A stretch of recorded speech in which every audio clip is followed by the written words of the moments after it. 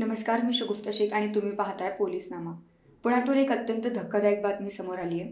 Police दलाच्या गुन्हे शाखेतील महिला पोलीस निरीक्षक शिल्पा चव्हाण यांनी आत्महत्या केल्याची धक्कादायक घटना समोर आली आहे. शिल्पा चव्हाण या सध्या शहर पोलीस दलातील गुन्हे शाखेतील सामाजिक सुरक्षा विभागाच्या प्रभारी म्हणून काम पाहत होत्या. आज सकाळी त्यांनी आत्महत्या केल्याची धक्कादायक माहिती समोर आली आहे. गुन्हे शाखेत नेमणूक होण्यापूर्वी शिल्पा चव्हाण या पुणे शहर पोलीस दलातील विशेष शाखेत कार्यरत होत्या. गेल्या काही महिन्यांपूर्वी त्यांची गुन्हे शाखेतील सामाजिक सुरक्षा विभागाच्या प्रभारीपदी नियुक्ती करण्यात आली होती.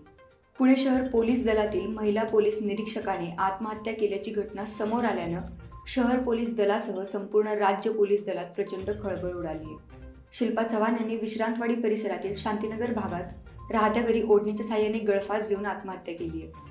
दरम्यान शुक्रवारी ही घटना उघडकीस आली. या घटनेमुळे प्रचंड खळबळ उडाली.